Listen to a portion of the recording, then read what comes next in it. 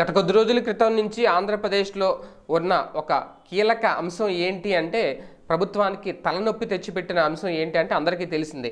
విగ్రహాలకు సంబంధించిన దాడులు. హిందూ దేవాలయాల్లో విగ్రహాల మీద జరుగుతున్న దాడులు. దానికంటే ముందు ప్రధానంగా విజయవాడ ఇంద్రకీలాద్రిపై ఉన్న అమ్మవారి ఆలయంలోని రథానికి సంబంధించి వెండి విగ్రహాలు మాయం కావడం. మొత్తానికి ఈ కేసులో ఎట్టకేలకు ఒక ఆ, కొలిక్కి వచ్చింది. ఈ కేసుకు సంబంధించి ఎవరు ఈ వెండి విగ్రహాలను మాయం చేశారు అనే దాని మీద పోలీసులు ఈ వెండి విగ్రహాలను చోరీ చేసిన వ్యక్తిని అరెస్ట్ చేశారు. దానికి సంబంధించిన వివరాలు కూడా వెల్లడించారు. ఎందుకంటే గతేడాది సెప్టెంబర్లో దుర్గమ్మ అమ్మవారి వెండి రథం పేద మీద ఆ వెండి విగ్రహాలు ప్రతిమలు మాయమయ్యాయి అనేది తర్వాత ఆ కేసుని చాలా ప్రతిష్టాత్మకంగా తీసుకుంది రాష్ట్ర ప్రభుత్వం పోలీసులు కూడా.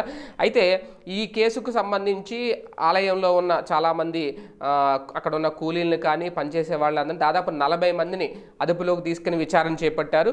తాజాగా ఈ కేసులో పురోగతి సాధించిందని చెప్పాలి పోలీస్ వ్యవస్థ.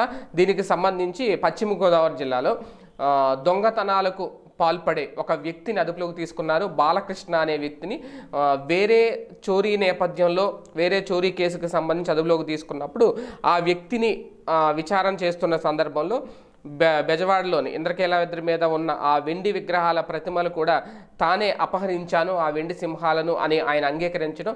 అప అపహరించిన ఆ వెండి సింహాలను తూర్పుగోదావరి జిల్లాకు చెందిన ఒక బంగారు వ్యాపారికి తాకట్టు పెట్టాను అనేది కూడా అతను ఆ బాలకృష్ణ అనే వ్యక్తి పోలీసుల ముందు ఒప్పుకోవడం. ఈ నేపథ్యంలోనే ఆ తూర్పుగోదావరి జిల్లాకు చెందిన తుని తూర్పుగోదావరి జిల్లాలో తునికి చెందిన ఆ బంగారు వ్యాపారిని కూడా ప్రస్తుతం పోలీసులు అరెస్ట్ చేశారు. నిందితుడి దగ్గర నుంచి ఆ ప్రతిమలు తీసుకుని వ్యాపారి వెంటనే వాటిని కరిగించేశాడంట. దాదాపు దాని బరువు పదహారు కిలోలు ఉందంట. అయితే పోలీసులు ఇంకా అధికారికంగా అయితే ధృవీకరించలేదు ఈ ఈ విషయాన్ని.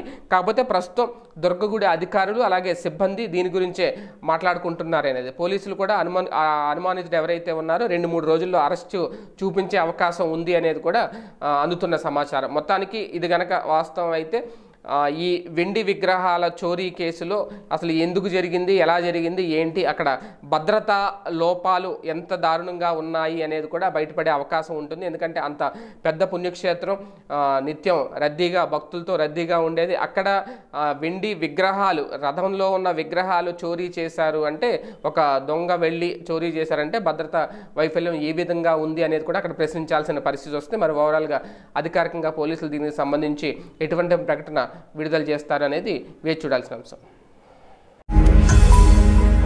ఈ వీడియో గనుక మీకు నచ్చినట్లయితే లైక్ చేయండి షేర్ చేయండి. మరిన్ని వీడియోస్ కోసం మా ఛానల్ను సబ్స్క్రైబ్ చేయండి.